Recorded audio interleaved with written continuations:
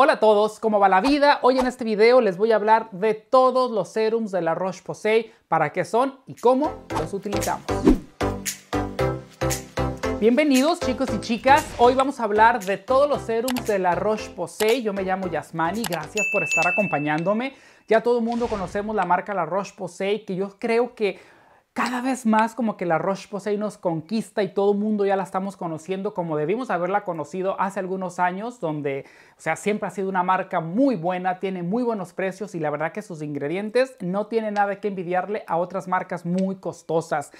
Eh, y vamos, voy a hablarles de todos los serums que ellos tienen. Tienen alrededor de, ¿cuántos eran? Dos, tres, cuatro, son como seis serums más o menos. Yo tengo tres en este momento, los otros no los tengo porque no los necesito o porque ya se me terminaron posiblemente. La Roche-Posay, mándame unas suministros, por favor. Así que, ¿qué les parece si comenzamos de una vez por todas a ver qué onda con esos serums, no? Primero, el ácido hialurónico. De mis favoritos de la vida que de esta marca es, el, su ácido hialurónico, pero por Dios, es una chulada. Miren, miren, miren, miren. Una chulada de ácido hialurónico, gordito, súper hidratante, que te deja la piel divina. Pero ¿para qué nos sirve el ácido hialurónico? Ya sabemos que el ácido hialurónico hidrata la piel, retiene humedad. Así que si tú tienes una piel seca, grasosa, con todo mundo, todos los tipos de pieles se van a beneficiar de un ácido hialurónico. Lo podemos utilizar en la mañana y en la noche después de tu limpieza y antes de cualquiera de tus otros eh, productos de skincare. ¿Para qué nos va a ayudar? Para mejorar la hidratación, como ya les dije, pero al mismo tiempo para que esas arrugas y líneas finas se vean más plump, se vean mucho más llenitas. ¿Cuánto me pongo, Yasmani? ¿Cuánto necesito del producto? Yo siempre lo que hago es meter el gotero y lo que alcance a agarrar, que por lo viene siendo que más o menos un cuarto de gotero es la cantidad que yo me pongo en toda mi cara y en el cuello. Recuerda, el ácido hialurónico siempre en la piel húmeda para todo tipo de piel, mañana y noche.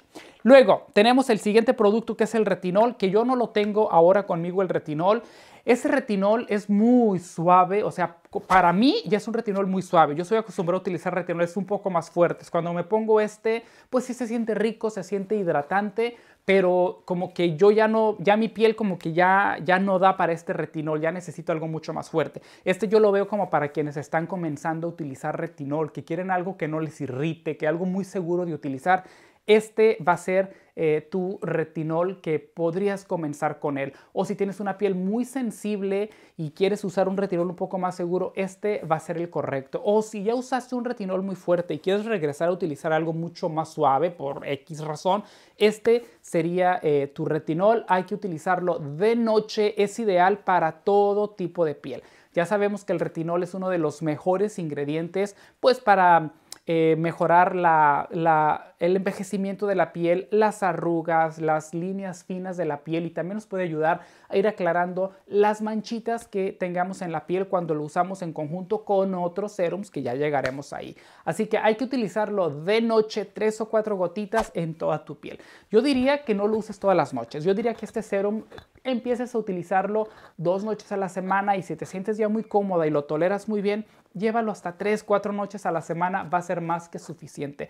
Yo me pondría mi retinol después del ácido hialurónico, ahí iría mi, mi retinol. Así que ya saben para quién puede ser la opción del retinol.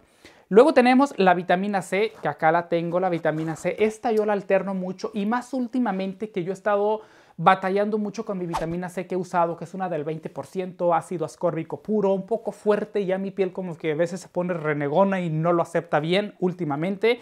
Así que esta es mi salvación, como que la cambalacheo, ¿no? Un día la otra me irrita y luego el siguiente día me pongo este. El ácido hialurónico ya sabemos que es un, eh, es un antioxidante que nos protege la piel, al mismo tiempo nos da luminosidad y nos ayuda pues a mejorar las manchitas que podamos tener en nuestra piel, a la producción de colágeno y a la salud en general de nuestra piel. Todo mundo necesitamos una vitamina C en nuestra rutina de skincare. Esto puede ser para todo tipo de piel, todo tipo de piel, hasta las pieles más sensibles se pueden poner esta vitamina C. Es muy amable con la piel, es muy suavecita, chequense eso, ahí lo pueden ver, así rico y pues no tiene un olor, bueno, tiene un poquito olor como a vitamina C, como a naranjita, pero no, no es un olor muy fuerte y deja la piel súper suavecita y divina. La vitamina C hay que utilizarla todas las mañanas. ¿Cuánto me pongo de vitamina C? Podrían ser 3 a 4 gotas, que realmente un cuarto de gotero, un cuarto de goterito sería más que suficiente para toda la cara, incluyendo el cuello. ¿En qué orden me la pongo, Yasmani, en las mañanas? A mí me gusta ponérmela después de mi ácido hialurónico. Yo siempre, el primer paso es el ácido hialurónico, porque me pongo en la piel húmeda, le dejo 30 40 segundos y luego reposar y luego sigo con mi vitamina C en las mañanas. Así que puede ser para todo tipo de piel. Si no toleras vitamina C o si estás como que explorando las bondades de la vitamina C, este podría ser una, eh, una, buena, una buena opción.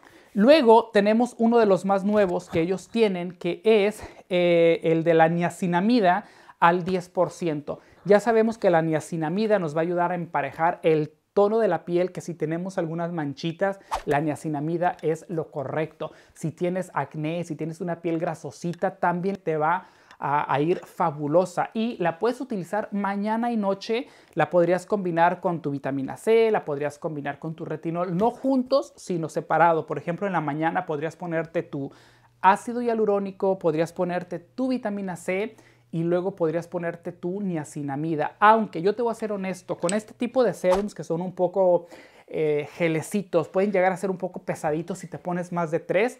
Yo diría que yo lo limitaría a dos, a dos de estos ácidos hialurónicos, dos en la mañana, dos en la noche. Ya sea que en la mañana te pongas tu ácido hialurónico y tu niacinamida o tu ácido hialurónico y la vitamina C y otros días te puedes poner tu ácido hialurónico y eh, uno de los dos, cualquier otra combinación, pues para no tienes que probarlo. A mí no me gusta ponerme más de tres porque yo ya siento que mi piel como que se pone un poco pesadona y eso que tengo una piel muy seca, ¿no? Puedes alternarlos, tal vez tres días a la semana te pones tu, vitamina C y otros dos días, tres días te pones tu niacinamida en las mañanas. O podrías saltarte tu ácido hialurónico si tú quieres y ponerte vitamina C y luego niacinamida en las mañanas. Tú tienes que probar y tienes que decidir si tu piel tolera tres serums, si los aguantas o solo dos, ¿no? Eso ya va a ser tu decisión. Bueno, y este es la, em, la, niacinamida. Lo mismo en la noche, te podrías poner tu retinol y niacinamida o tu niacinamida y tu ácido hialurónico. Decide cómo va a funcionar todo esto. Bueno, y también es para todo tipo de piel. Luego tenemos el último, que es el Glycolic B5, el ácido glicólico. Este yo lo tengo porque, bueno, porque muchas veces eh, yo pruebo diferentes productos para las manchas y este del ácido glicólico nos, nos ayuda a combatir las manchitas y a unificar el tono de la piel. Yo creo que este es mi tercero que yo utilizo en el último año y medio más o menos. Y déjame te digo que también es muy interesante cómo funciona este. Lo podrías eh, confundir una vez afuera con la vitamina C por el color, pero no tiene nada que ver. Este tiene un olor más a médico y la vitamina C tiene un olor mucho más agradable en mi punto de vista. Este ácido glicólico nos va a ayudar a, como ya te dije, a emparejar el tono de la piel y ayudarnos con las manchitas. Así que tenemos, y también es para todo tipo de piel, tenemos diferentes serums que podemos combinar entre sí que nos pueden dar muy buenos resultados. Por ejemplo, yo, eh, a mí me gusta utilizar el ácido glicólico de noche, algunas personas se lo ponen de día, yo lo dejo de noche, ¿no? Algunas noches yo uso mi retinol cuatro noches a la semana, una noche a la semana me pongo mi ácido glicólico. O si usas tu retinol dos noches a la semana, ponte dos noches el ácido glicólico. Altérnalo para que puedas tener buenos resultados. No mezclaría yo el ácido glicólico con el retinol porque para qué nos vamos a arriesgar a conseguir irritaciones innecesarias, ¿no? Eh, vitamina C de día, glicólico de noche, ya tú vas a ir viendo cuáles serums se van a ir ajustando a tu rutina. Acuérdate que el ácido eh, hialurónico es el único ácido que puedes mezclar con cualquier otra cosa y no pasa nada.